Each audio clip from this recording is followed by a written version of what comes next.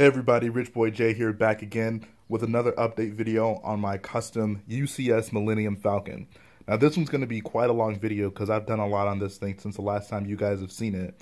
If you're wondering why I'm making such fast progress on this, the first thing is that I had a lot of this planned out on LDD originally, so um, it, it's really just been following those directions and then maybe modifying a few things here and there.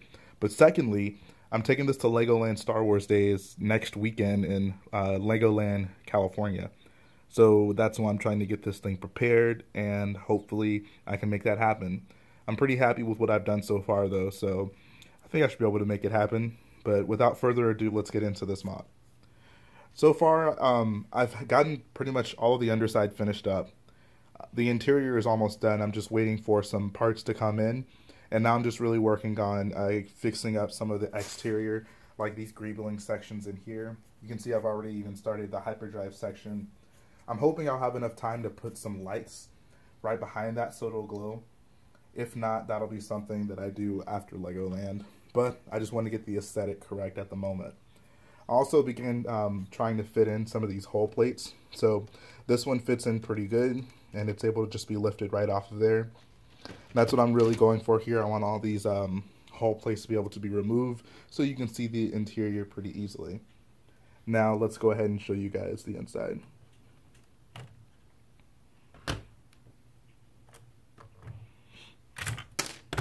I guess I broke that. Alright, I'm going to start with this middle section right here. As you can see, Finn is manning the controls at the top turret and I really like this section because this part right here just peels right off. And then you can get a better look at Finn in there. And then also it makes it for a good aesthetic from here on the side where you can see the ladder. I know it's really dark in there, but it's really cool to see it in the hallway. And then if you want to access the underside, this actually just pulls straight out of here. And then you can see the other side. So if you wanted, you could put Luke and Han in there and have them manning the guns on the Falcon. Now I'll start with the back room. This is the hyperdrive room. I'm still waiting to get some more parts in. I want to get these tubes, but in light gray. And I also want to um, switch out these yellow tiles right here to the gold ones. Because, I mean, just I think that looks amazing. My original design started off with the yellow tiles, but then I realized I had quite a few of the gold ones and I tried that out and it ended up looking pretty good. I also ordered a few more of these like tube type parts. I want to have um, them coming from here, going into that wall right there. And right here you see C-3PO is chilling out.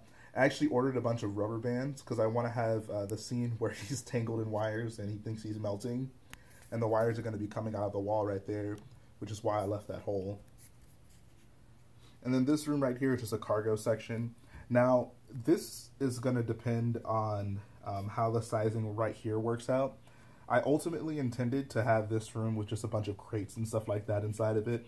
And then I was going to set the battery box somewhere in here for the lights that would shine around the hyperdrive.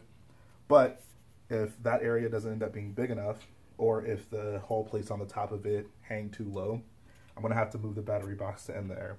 I think it'll work out either way though. You can see I started a lot of the hallways. Still waiting on some of the tan tiles to make it complete. I'll go ahead and show you guys this room. This room is kind of like a um, control panel station. There's a lot of just computers and circuitry and things like that in here. And I'm also waiting on some tiles to finish up the floor. And then this room, this is um, kind of like oh this is this is the room where when Luke gets his hand cut off he's sleeping in one of those beds. And on the other side of that room there's actually like a mini kitchen and a bathroom. So that's where the kitchen is. Got the blue milk sitting there. And then this is a bathroom.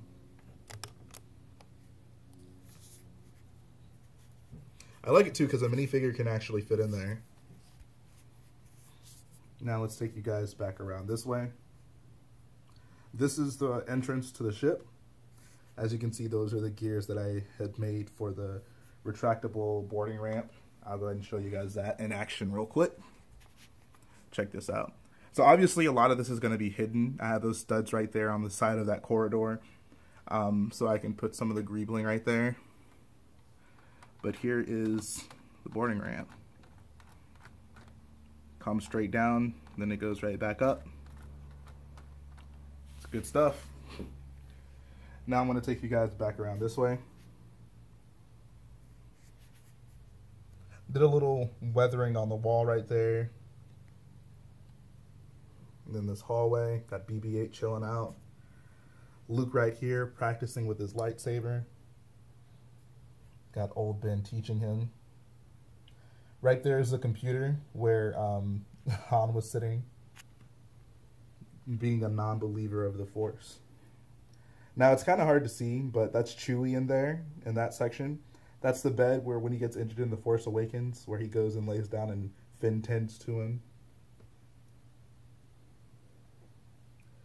And this, of course, is the famous couch.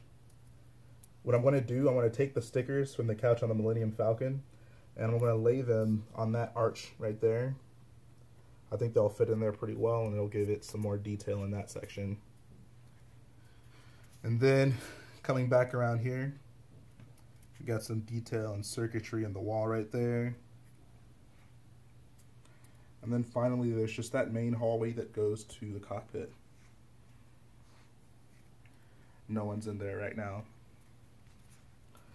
Alright guys, that's going to finish up this update video. Wow, it's really amazing. I'm loving the way this thing is coming out. This is absolutely my favorite MOC that I've ever made. And I just can't wait to see it finished up. And that's going to end this video, guys. Once again, if you like what I do, if you want to see more cool LEGO stuff like this, go ahead, and hit the like button, hit the subscribe button as well so you can be the first to see anything that I release. And um, oh, there's one more thing I definitely did want. Actually, two more things. There's so many features in this thing, I almost forget it to show you guys these. So this is that floor hatch where Rey and Finn hide. See, Rey is taking a nap in there. Almost ended the video without showing you guys this. And then also I added the smuggling compartment where they hide in A New Hope. It's kind of hard to get out of there, especially with one hand. Here, let's see if I can do this. There we go. And then you just peel this one off right here. I gotta remember to check these things. I can leave figures in there. And then you had Luke chilling in there. Alright, now that's the actual ending to this video. Have a great day, guys. Hope to see you again soon. Thanks for watching.